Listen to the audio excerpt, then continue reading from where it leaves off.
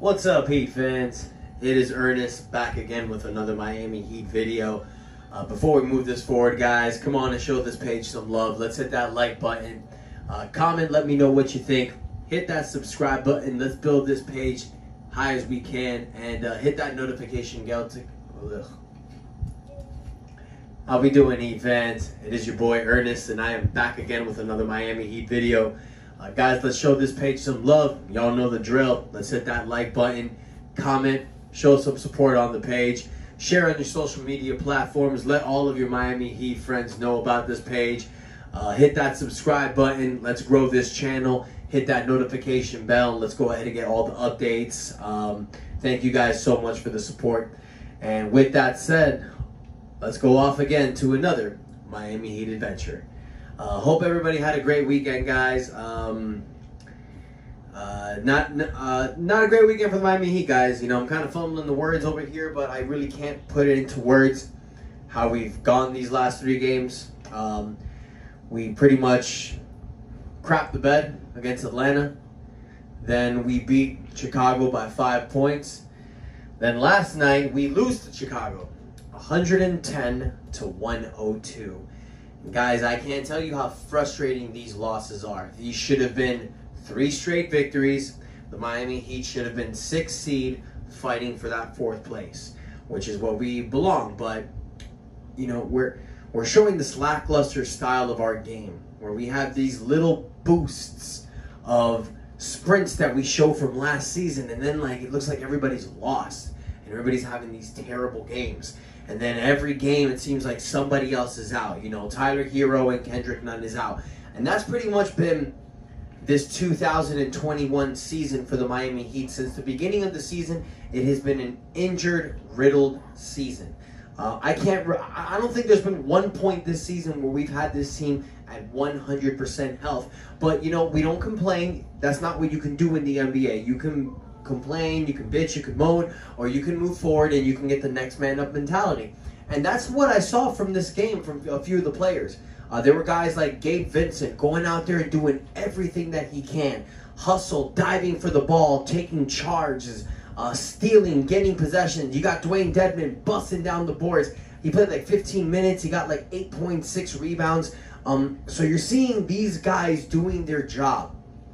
Um, it's going to take this team being fully healthy for us to reach our full potential. That's an obvious thing to say, but it's something that needs to be said.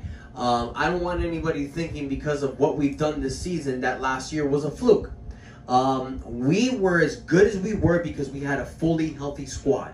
I strongly feel that with a fully healthy spot, squad, especially come playoff time, I don't care where we are in the seeding, we are going to be a scary team to play. Mark my words. Um, but look, we're right now sitting at 32 and 30. We're seventh in the Eastern Conference. That's pretty much where we've been hovering for the last two weeks. Um, we're two games down from the fourth seed, so it's not impossible. But now there's 10 games left in the season, so it's becoming harder and harder. Um, which was one something I felt that was going to be easily attainable for the Heat, is now becoming a reach. Uh, so you need to go on a run specifically now. Um, tomorrow we have the San Antonio Spurs. Uh, we beat them last time, but they could be playing for revenge. They're still trying to go for it too. So all these games are going to be really important, and especially how we've been doing these last three games. None of these games are going to be easy wins for the Heat. I feel. And what sucks is that in this game, especially this last game against the Bulls, we were right there, man. The Miami Heat was doing a little comeback. We were going back and forth. We were down by seven with like two, three minutes left. We came back. Jimmy steals the ball, runs down the court. Jimmy has a wide open layup with his right hand, and he misses.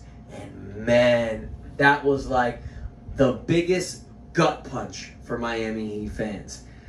It was bad, but we have to move forward. In this game against San Antonio, it's a very important win. Here's why. We are a half a game down from the sixth seed. Boston right now sits at 32 and 29. We sit at 30 at 30, 32 and 30. So we need this win. Bad. And then after San Antonio, after that, our final 10 games is San Antonio, Cleveland, Charlotte, Dallas. We have the, the Minnesota Timberwolves after that. We got a Boston back to back. Then we got the 76ers, the Bucks, and the Pistons. This is not an easy matchup. And how we've been doing all year, guys, we've been fluttering in the 500 mark.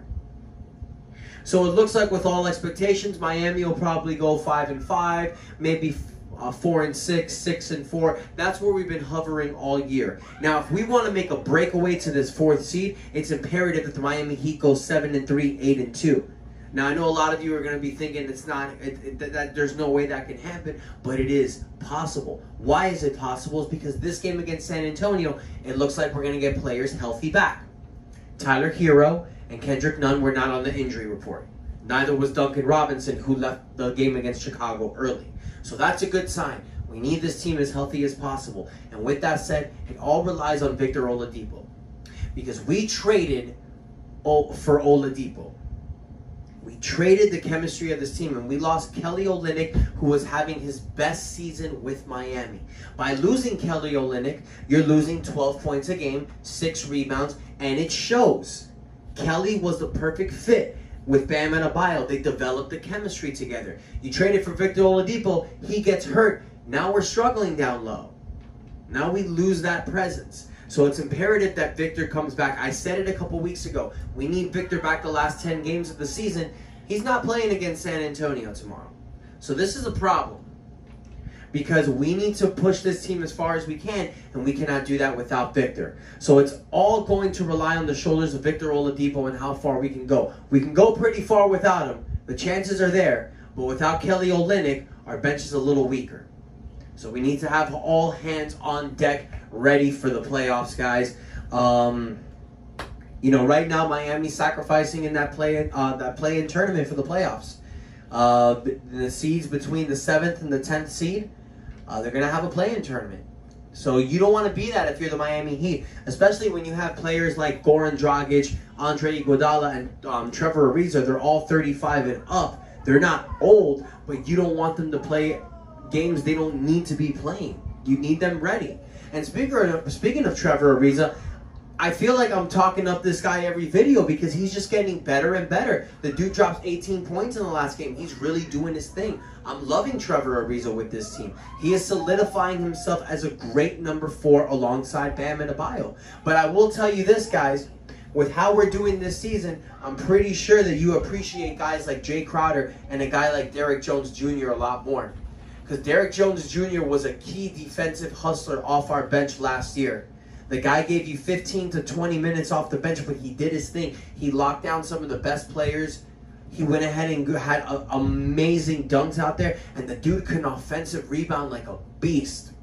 You lose that. You lose Jae Crowder, and you see what that does to you. It's not just superstars, guys. It's great role players that do their part. And like I've said before, and I'll say it again, here in the Miami Heat, we turn good players into great players. Can't say it better myself. So guys, um, stay the course. We got to stay positive. We got to stay there for our team. This is our Miami Heat team. We are Heat Nation, and we must stand up. These last 10 games of the season are very crucial. Playoffs are around the corner, guys. I'm excited. I'm ready for playoff basketball. It's some of the best thing to watch in the NBA. I'm crazy excited about it. Hopefully, I can get a ticket for one of the games. That's my goal. I'm going to try my best to make it happen. So, guys, let's go ahead and hear what you think. Um, how do you feel about the last 10 games of the season? I want everybody, all of the fans out there, the last 10 games of the season, I want to hear your prediction. How do you think the Miami Heat will do? I predict a finish of 7 and 3. I think with the 7 and 3, we're going to have a good shot to compete for the fourth seat. So that's my prediction. I want to hear from you guys. Guys, thank you so much for the support. Thank you so much for the love. Let's grow this channel. Hit the like button, comment, share, subscribe. Y'all know what to do. And until next time, it is your boy Ernest out. And that's enough said.